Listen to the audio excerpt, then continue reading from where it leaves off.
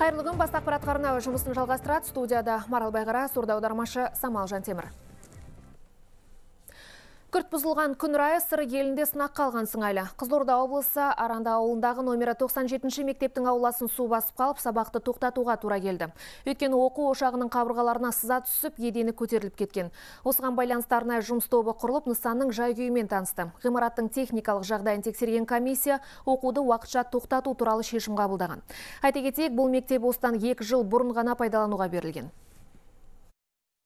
ауа райына байланысты оның үстіне жаңбырдың жаңбыр жауына байланысты мына 97-ші мектеп ауласына су жиналып су сорғыш жұмыстары жүргізілді. Жергілікті органдармен біздің қызметкерлермен бәрі жұмыс атқарылды бітірілді.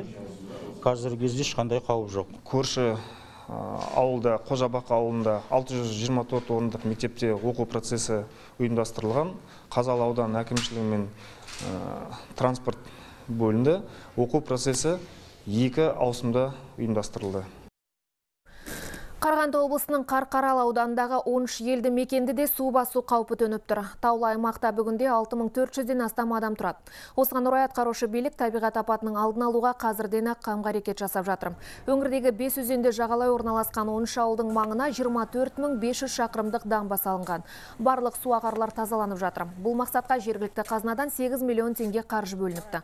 Ал төтенше жағдай бола қалған жағдайда 40 техника мен 300-ге жуық адам сақадай сай тұр. Сонымен қатар құтқарушылар ауыл аймақты аралап халыққа қауіпсіздік шараларын қатаң сақтауды ескертіп жатыр. Жалпы биыл ауданға қар жылдағыдан анағұрлым аз түскен, бірақ жердің тоңы қалың, сондықтан бос аңсуға болмайды дейді мамандар. бес мың қап алдық. Сол қаптарды инерттік заттармен толтырамыз да сол осал жерлердің бәрін 15 наурызға дейін бәрін жауып шығамыз. Сонымен қатар біздің ауданымызда 18 көпір 600-ден астам суағарлар бар. Бүгінгі күнгі 18 көпірдің бәрін тазаладық. 315 суағарларды тазаладық. Енді 15-не дейін тағы да осы қалған 310 көпірді тазалап бітеміз Қарағанды облысындағы Костенко шахтасындағы өртті мамандар әлі де сөндіре алмай әлекке түсіп жатыр. Жер астындағы көмірдің жанып жатқанына бүгін үшінші күн. Әйтеуір ешкім зардап шеккен жоқ. Кеніштегі жұмыс уақытша тоқтап тұр, ал жұмыскерлер өзге шахтаға ауыстырылған. Алдын ала болжам бойынша көмір өздігінен тұтанса керек, бірақ нақты нәтижесі зерттеу жұмыстарынан соң мәлім болады. Мамадар өрт шыққан аймақты бұрғылап, қосымша ақпарат жинамақ қалайда тілсіз жауды ауыздықтау үшін кемінде бір ай уақыт керек дейді. Көмір апатты құтқару қызметінің басшысы Геннадий Селинский. Жахан жаңалықтары. Непал астанасы Катманду халықаралық әуежайында Бангладештік жекеменшік US Бангла әуе компаниясына тиесілі ұшақ апатқа ұшырады. Әуе көлігі қонар сәтте ұшып қону жолағына тура бағыт ала алмай жолдан шығып кеткен. Сөйтіп сол маңдағы футбол алаңының қоршауына соғылып, лешала отқа оранған. Бересме мәліметтерге қарағанда ұшақ бортында 67 жолаушы мен 4 экипаж мүшесі болған. Қазір олардың 20 шақтысы құтқарылып ауруханаға жеткізілді. Әзірге қаза тапқандар мен жапа шеккендер туралы нақты ақпарат жоқ, ал әуежай уақытша жабылып, рейстер кейінге шегерілді. Қазір апат аймағында құтқарушылар мен төтенше жағдайлар қызметінің мамандары жұмыс істеп жатыр. Ақ үй басшысы Дональд Трамп ақштың Иранмен ядралық келісіміне елеулі өзгерістер енгізілмесе, одан шығатын мәлімдеді. Бұл туралы жергілікті ақпарат құралдары хабарлады. Дерек бойынша 5 наурызда Трамп Израиль премьер-министрі Беньямин Нетаньяхумен кездесу өткізген. Басқосуда Трамп Ұлыбритания, Франция мен Германия елдері аталған құжатқа тек кішігірім өзгерістер енгізуді ұсынғанын айтып, мұның жеткіліксіз екенін алға тартты. Ақ үй басшысы ақш пен Европа елдері арасындағы уағдаластыққа емес, Иран ядралық келісіміне айтарлықтай түзетулер енгізілуін талап етіп отыр. Жергілікті басылымдардың хабарлауынша, егер де талаптар орындалмаса, ақш бұл келісімнен шығып кетпек. Дерек бойынша Трамп бұған жол бермеу және ядралық келісімді өзгерту бойынша уағдаластыққа қол жеткізу үшін 12 мамырға дейін уақыт берген. Чилидің жаңадан сайланған президенті Себастьян Пиньера ұлықтау рәсімі кезінде елдегі күрделі экономикалық жағдайды оңалтып бюджет тапшылығын қысқартуға уәде етті. Социалист Мишель Бачелеттен кейін президент тізгінін ұстаған 68 жастағы Себастьян Пиньера консервативті көзқарастағы тұлға. Ол елдегі кедейшілікті түбегейлі жойып, алдағы 10 жылдықта Чилиді дамыған мемлекеттер қатарына қосатынына сенімді. Гарвардта білім алған беделді саясаткердің ұрпағы Пиньера 1980 жылы Чилиде тұңғыш картасы жүйесін енгізген болатын. Tenemos que recuperar экономикалық тұрақтылық пен өсім тек қана жұмыс орындарымен ғана қамтамасыз етіп қоймайды сонымен қоса түрлі керемет әлеуметтік жобаларды іске асыруға және халықтың өмір сүру жағдайын едәуір жақсартуға мүмкіндік береді Айта кетейік, 2013-14 жылдары Пиньераның мемлекет басқарған жағы аса қолайлы уақыт болмады. Алайда қазіргі жағдай басқаша. Мыс бағасының көтерілуі ел экономикасына 250 миллиард долларға өсім әкелген. Оңтүстік Корея президенттерінің арнайы келшісі әрі қауіпсіздік мәселесі бойынша кеңесшісі Чон Йон ресми сапармен Бейжіңге келді. Ол Қытайдың мемлекеттік кеңесшісі Ян Це Чинмен кездесіп, Қытайдың Корея түбегіндегі ахуалды реттеуге ықпалы зор екендігін атап өтті.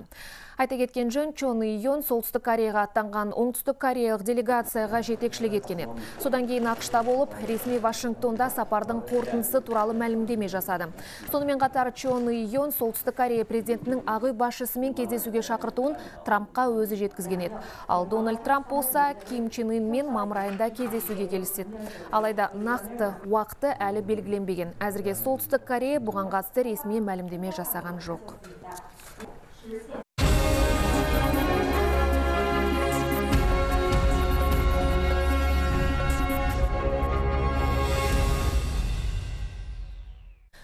Хабарымызды жалғастырамыз. Үш жылдай тұралап қалған екі бастұздағы вагон құрастыру зауыты қайта жандана бастады. Бұған кәсіпорынды сауықтырудың ұзақ мерзімді жоспары тың серпін беріп отыр. Енді алдағы 5 жылда 10 мыңнан астам жүк вагонын құрастыру жоспарда бар. Естеріңізде болса, бірнеше жыл толық қуатында жұмыс істей алмаған кәсіпорынның банк алдындағы қарыздары қордаланып, еңбеккерлер лашсыз қысқартылған жұмыс кестесіне көшкен болатын. Вагон құрастыру зауыты 2018 жылды табысты бастады. Өндірістегі тұрақтылық еңбеккерлердің еңсесін көтеріп, ертеңіне сенім ұялатқандай. Я здесь работаю уже 6 лет. Мен осы кәсіпорында іргесі қаланған күннен бері жұмыс істеймін. Екі жарым үш жылдай үзіліс болды. Соған қарамастан өндіріс көлемінің артатынын естіп қуанып жатырмыз. Жүк вагондарын жасауға өз үлесімізді қосамыз. Бұл заманауи өндіріс, сондықтан жұмыстың басым бөлігі автоматтандырылған жүйеде жүзеге асады. Озық технологиялар кез келген күрделі тапсырыстарды орындауға мүмкіндік береді.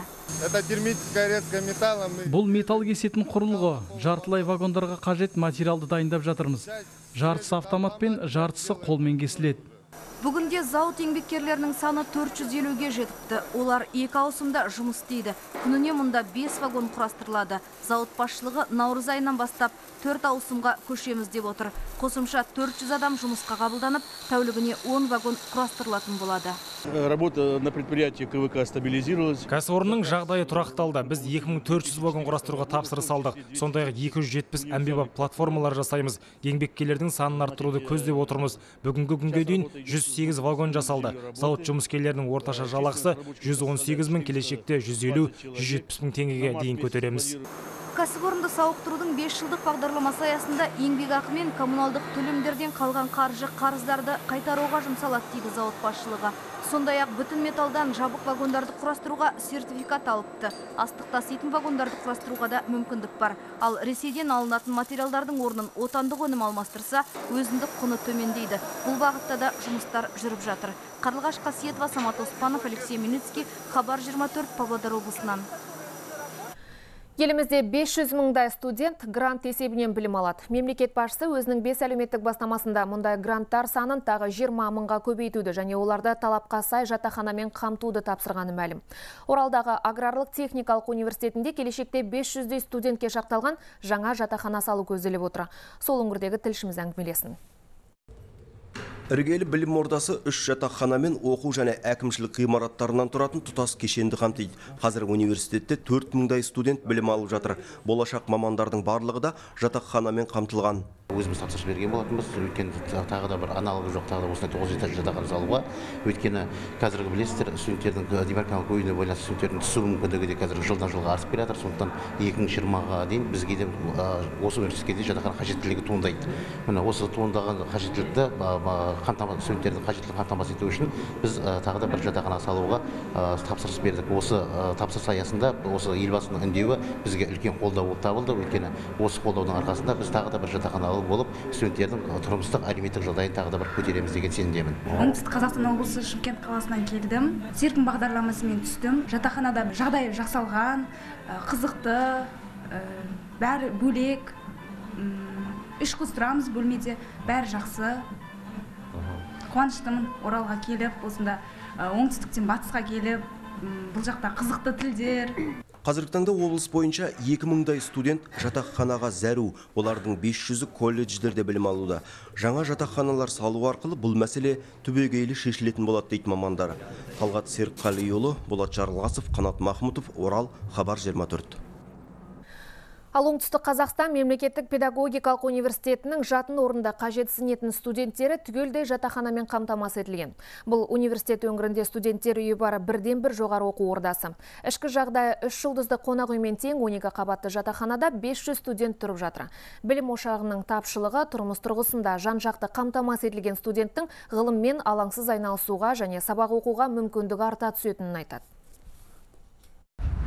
Студенттер үйінен орынды негізден үздік оқитын қоғамдық өмірге белсенді қатысатын жастарға береді. Бұл ынталандырудың бір түрі.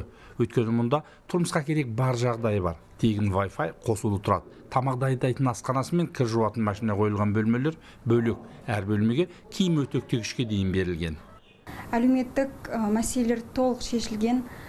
Бізде бос уақыт көп сондықтан да барлық уақытымызды дерлік сабақ оқуға арнаймыз. Университетімізде тиіп тұр осы жерден автобусқа мініп жүрудің қажеті жоқ. Студенттер үйінде 14 үйірме жұмыс істейді. Мұнда жастар бос уақытында қосалқы мамандық ала алады әрине тегін. Ғимараттың ішіндегі қабырғалар студенттердің өздері тоқыған алаша гобелен кілеммен көркемделген. Мұғалім деген жан жақты болу керек. Сол үшін осы гобелен үйірмесіне келіп қатысып жүрмін. Оның үстіне бұл ұлттық өнер. Ертең болашақта мұғалім болғандықтан шәкірттеріме осы өнерді үйрететін боламын. Педагогикалық университеттің күндізгі бөлімінде 2677 студент оқиды. Оның ішінде өзбекстаннан ресейден және еліміздің өзге облыстарынан келгендер де бар. Енді шетелдік жоғарғы оқу орындарымен бірлесіп олар инвестор болады кампус салмақшы. 2022 жылы 22 қабатты 2000 орындық студенттерге барлық жағдайы жасалған жатақхананы бітірем іске қосамыз. Бұл біздің кешегі елбасының өзінің мәлімдемесінде алға қойған мақсат міндеттерге нақты жауап деп есептейміз. Университетте жатын орынды қажет дегендердің барлығына береді. Студенттер үйінен бөлек тағы екі жатақханасы бар. Әбдез рахманұлы нұрмахан мұсатов шымкент хабар 24 Биыл Ақмола облысында 2000-ға жуық адам кәсіпкерлік негіздерін оқып, шағын несиеге қол жеткізеді. Олардың басым бөлігі мал шаруашылығын дамытқысы келсе, біразы қызмет көрсету саласында кәсіп ашуға ниет білдірген. Бұл былтырғымен салыстырғанда екі есе көп. Себебі елбасының бес бастамасында айтылған шағын және орта бизнеске қолдау бағдарламасы аясында биыл осы бағыттағы жұмыстар күшейтілмек. Ал өткен жылды жылы аймақтың бес ауданынан 900-ден астам адам бастау бизнес сабақтарын оқыған болатын. Олардың біразы бүгінде жеке бизнесін бастап кетті. Қазірдің өзінде өңірде 544 адам жобасының мақұлдануын күтіп отыр. Оларға 850 миллион теңге шағын несие беріледі. Айта қазір Ақмола облысында 42 мыңға жуық шағын және орта бизнес нысандары жұмыс істеп тұр. За прошедший год, который мы провели обучение. Былтыр кәсіпкерлік негіздерін оқыған адамдардың біразына 490 миллион теңгеден астам несие бөлінді. Ал 92 адам өз күшімен ақ кәсіп ашты. Биыл елбасының ұсынып отырған жаңа қаржыландыру бағдарламасы бойынша Ақмола облысына 1 миллиард 300 миллион теңге қаражат бөлінеді. Шағын және орта бизнесті өркендету ел экономикасын жақсартудың бірден бір жолы. Жаңа жұмыс орындары ашылып, халықтың тұрмысы көтеріледі. Қытай ұлттары университеті Ресейді зерттеу орталығы директорының орынбасары Ван Сянзуй Қазақстан президенті Нұрсұлтан Назарбаевтың бес әлеуметтік бастамасына қатысты осылай деп пікір білдірді. Қазақстан мұнай мен газға бай мемлекет. Осы игілікті халық пайдалану үшін елдің біраз бөлігін газбен қамтамасыз ету тапсырылды. Бұл тұрғындардың өмір сүру сапасын көтереді. Экология мәселесі де оңтайлы шешіледі. Ал ертеңгі ел болашағы жастар. Бірақ қазір қолдауды ең көп қажет ететін тап студенттер саналады. Қазақ президенті жастарды да ұмытпай сапалы білім алуға ерекше назар аударыпты. Қытайда бір сөз бар, биікте тұрған адам алысты көреді деген. Президент Назарбаев көрегендіктің шыңында тұрып, халқының болашағына игілігіне арналған шешім қабылдады. Жыл сайын Қытайдан Европаға 250 миллион ал осы кәрі құрлықтан Қазақстан арқылы кері қарай 800 миллион тауар қайта жөнелтіледі. Екі арадағы жүк тасымалын жақсарту үшін биыл Қазпошта компаниясы халықаралық көлік дәлізін құруды қолға алды. Бұл өз кезегінде елімізге электрондық сауданы дамытуға және курьерлік қызмет сапасын жақсартуға мүмкіндік береді. Сонымен қатар компания биыл интернет саудасын дамытуды көздеп отыр. Қазірдің өзінде елімізде 40 ғаламтор дүкені жұмыс істеп тұр. Тұтынушыға тауарды уақытылы жеткізу үшін қызметкерлер күн сайын 120 мың сәлемдеме жинайды. Мы сейчас планируем Халықаралық көлік дәлізінің қызмет сапасын арттыру мақсатында кеден қоймаларын құруды қолға алдық. Алдағы уақытта Қытайдан Еуропаға жеткізілетін тауарлар Қазақстандағы қоймаларда сақталатын болады. Яғни Қытайға тапсырыс берген тұтынушының тауары бізден жөнелтіледі. Бұл тапсырыс уақытын қысқартуға және жеткізу құнын бір шама азайтуға жол ашады.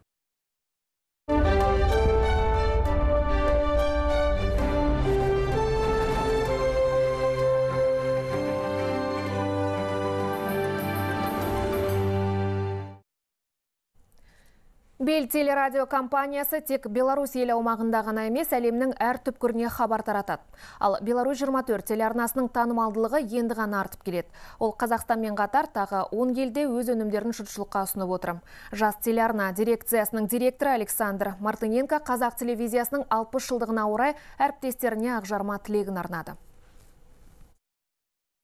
Я убежден и знаю не понаслышке, что Біздің қазақстандық әріптестеріміз кеңестік кезеңнің үздік мектеп екенін білеміз. Тәжірибелеріңізді біздің елде қолданып жатыр. Сіздер үнемі мақтан тұтарлық жарқын жобаларды жүзеге асырып жүресіздер. Ал мерейлі мерекеде сіздерге қызықты бағдарламалар, керемет шоуларды жүзеге асыруды тілеймін. Рейтингтеріңіз жоғары болсын. Ең бастысы жоспарланған жобаларыңыз жүзеге ассын. Тағы да мерекелеріңізбен. Берлинде халықаралық ITB туристік көрмесі аясында қазақстандық әртістер өнер көрсетті. Шара Қазақ туризм ұлттық компаниясының бастамасымен ұйымдастырылған. Көрмеге келушілер домбыра, саз сырнай және шаңқобыздың ерекше үнін естіп таңдай қақты. Ал театрландырылған қойылым арқылы әр аспаптың тарихымен танысты. Әсіресе шетелдік көрермендерге домбыра жайлы қайғылы аңыз қатты ұнапты. Концерттік бағдарламаның басты ерекшелігі көрермендермен бірге орындалған қара жорға биі болды. Жасы да, жасамысы да саз әрбір элементті қызыға қайталады. Тәнті болған қонақтар болашақта Қазақстанға барып қайтқысы келетінін айтады.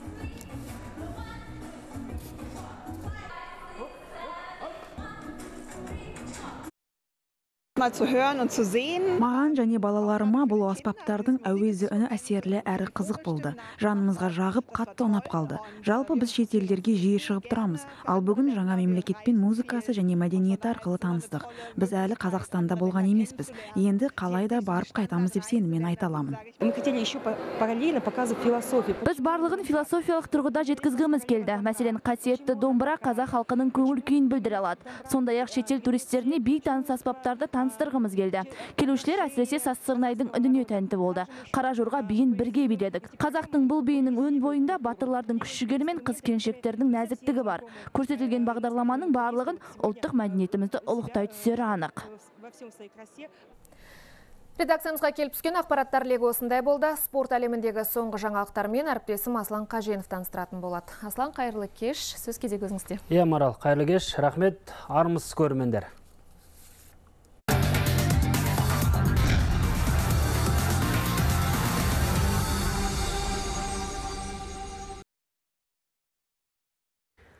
Шымкент қаласында әскери қызметшілер арасында қазақ күресінен ел біріншілігі өтті. Әскер барысы деп аталатын палуандар бәсекесінде барлық күш құрылымдарынан келген 30 жігіт өзара мықтыны анықтады. Қорғаныс министрлігінің спорт комитеті мен армия орталық спорт клубы ұйымдастырған сайыста жеңіске жеткен балуан. Қазақстан барысы республикалық турниріне жолдамалады. Өткен жылы әскер барысы турнирінің жеңімпаз атанған Еламан Ерғалиев Қазақстан барысында қоса жеңіп алған болатын. Сонымен Шымкент қаласында өткен турнирде жеңіс тұғырына қарсылас шақ келтірмеген армия орталық спорт клубының палуаны Ерасыл Қажыбаев көтерілсе екінші орынға мемлекеттік күзет қызметінен келген Әлібек Зекенов ие болды. Ал үшінші орын ұлттық ұлан өкілі Олжас Шынекеевке бұйырды. Мақсат бұны іріктеп бір әскери қызметшіні Қазақстан барысына қатыстыру. ол жаңағы іріктеусіз жарысқа қатысады 2017 жылғы әскер барысы ералиев еламан қазақстан барысы атанды Қазақстандық велоспортшылар Филиппин елінде өткен халықаралық жарыстан олжалы оралды. Сан Матео қаласында аптаға жоқ уақыт маунтинбайк шеберлері өзара мықтыны анықтаған болатын. Оған еліміздегі олимпиадалық даярлау орталығының алты шәкірті қатысты. Араларынан Денис Сергенко мен Татьяна Богданова күміс жүлдегер атанды. Тыныс Ақанов баптайтын қыз жігіттер маунтинбайктың кросс-кантри олимпик түрі бойынша сынға түскен еді. Бүкіләлемдік бокс сериясы аясындағы қазақстандық және ресейлік клубтар арасындағы кездесу соңы дауға ұласты. Астана Арландары мен Патриот боксинг тим боксшылары бұл жолы Санкт-Петербург қаласында жолыққан болатын. Алаң иелері 5-тен есебімен жеңіске жетті. Бірақ соңғы жұптың нәтижесіне көпшіліктің көңілі толмай отыр. Әсіресе әлеуметтік желілер мен спорт порталдарында қазір пікірталас қызып тұр. Өйткені аса ауыр салмақтағы Нұрсұлтан Аманжолов ресейлік клуб сапындағы қарсыласын бірнеше рет нокдаунға жіберді. Бірақ соңында төрешілер шешіммен Шекбуддин Алиев жеңімпаз атанды. Бүкіләлемдік бокс сериясы бұл жағдайға қатысты әзірге ешқандай мәлімдеме жасаған жоқ. Айта кетейік Астана Арландары осы маусымда алғаш рет есе жіберіп отыр. Осының алдында дәл осы ресейлік және үндістандық клубтарды айқын басымдықпен ұтты. Ал ендігі кездесулер Үндістан және Қытай елінің командаларына қарсы өтеді. Астана Арландарының қатысуымен өтетін бокс кештерін хабар арнасы тікелей эфирде көрсетеді. Бүгінге бар спорт ақпараттары осындай келесі кездескенше сау болыңыздар